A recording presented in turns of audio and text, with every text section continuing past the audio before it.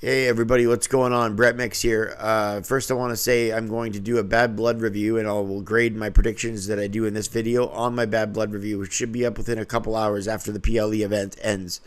Also, want to say thank you to the subscribers as of late. I, my channel's been doing very well. Uh, I'm almost at 500, and if anybody else wants to help me get to that uh, milestone, I'd certainly appreciate it. I need about 20 more. For a channel that's only been on like three quarters of a year, I think that's pretty good.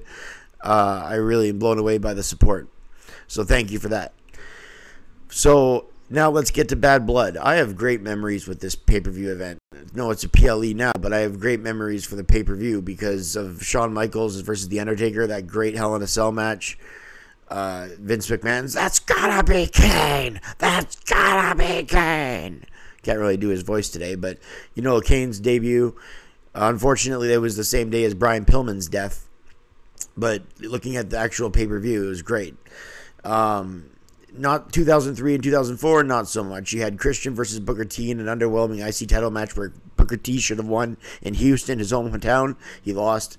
We had the Austin Bischoff Redneck Triathlon that didn't, you know, make anybody entertained. And then we had the Triple H Kevin Nash Hell in a Cell where Mick Foley was the ref, and nothing, nothing noteworthy happened. Triple H just beat him up with weapons and Foley counted the three. Anyway, that so there those pay per views weren't very memorable, but now bringing back Bad Blood with Hell in a Cell, all of them featured a Hell in a Cell, which is why I'm glad that Triple H has brought this back. He's really into tradition. That's one thing I like about Paul Levesque's regime. Now, without further ado, there's five matches planned so far, so let's do the five match prediction. We start off with this is in no particular order, obviously, but we start off with Finn Balor and Damian Priest. Balor hasn't won many important matches in the last year, especially in singles competition. If you go back and look, I don't believe he's had a PLE victory in singles competition in years. This has been so. This has Priest winning written all over it because of how they've booked the characters. But if they want to make Judgment Day look strong, they need them to win here, even if it is by cheating. However, what needs to happen isn't always what does happen. So I'm sticking with my gut and sticking with Damian Priest as my prediction over Finn Balor. I think Balor would do more with the win, but I don't think that's what's happening here. I think Damian Priest is going to win, and the Judgment Day version 2.0 is going to continue to look a little bit weak. Speaking of that, Liv Morgan of that Judgment Day and Rhea Ripley. And another way the Judgment Day is going to kind of look weak because my pick should not shock anyone here. The belt, she never lost. Mummy is coming straight for it. I'm predicting Ripley. Probably to have another long title reign like the reign that she was going to have before she got injured. Um, Liv Morgan has done a believable and an admirable job as champion. It's just Rhea Ripley is just a step above. Dom, and speaking of above, Dom hanging above in the sharp cage. Nice little segue there. Shark cage there should be add an interesting element to this match. Does he try to get down Does somebody from the Judgment Day, help him get down from that shark cage? Only time will tell. Either way, I'm going with Rhea Ripley. So those are two matches in a row where the Judgment Day 2-0 loses. So I don't know if that's going to happen, to be honest, now that I think about it. But those are still my picks, and I'm not going to change them. We got Solo Sikoa and Jacob Fatu against Roman Reigns and Cody Rhodes people will say Roman can't lose his first match back. People will say the champion can't lose. But you know what? And I said earlier, what needs to happen isn't the same as what will happen. But in this case, I think what needs to happen will prevail. I think Solo and Fatu get the victory. The tag match should be good for the reasons alone that this match has so many twists and turns.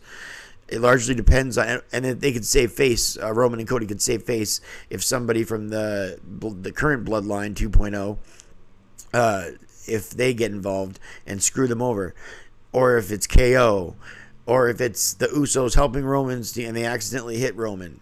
Eh, you never know. There's so many twists and turns, and The Rock's future involvement. It really matters what they have planned going into WrestleMania and what they have planned going forward into the months leading into WrestleMania for who gets the win here. I really think that matters. But I'm going to pick Solo and Fatu, final decision. And we got two more matches left. We got Jax and Bayley. Bayley, by all means, could add to her decorated resume. I just don't think she will here. They're teasing a Stratton turn on Jax, but does that mean that she costs her the title? I don't know. Or does it mean that she just cashes in on her? I don't know.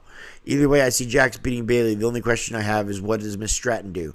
Triple H doesn't like to hot potato the title if unless it's somebody like with an injury, like Rhea Ripley. Uh, so Jax winning is the most solid prediction on this whole event, in my opinion. So Jax over Bayley. I don't want that to happen, but that's what I feel will happen. CM Punk and Drew McIntyre. No idea what big spot or what finish could possibly come from all this. All I know is CM Punk needs this more than anything. His character is losing steam and believability, and he needs a big W for his return's sake and just for credibility. He's been back a year and he's had a lot of bad luck. Some of that may be for karma for what he said about the WWE when he was gone. But I'm rooting for him. He's a changed guy. I really feel that.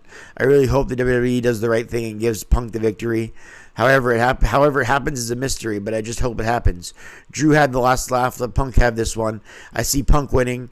Does Rollins get involved and accidentally screw over McIntyre while both are outside the cell? Or does it lead to a three way feud between the three?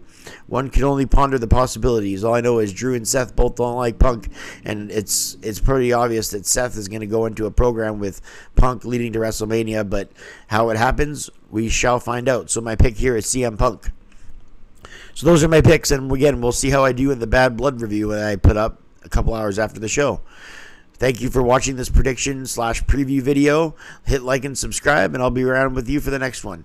For Macho Wrestling 101, I'm Brett Mix, and I'm out.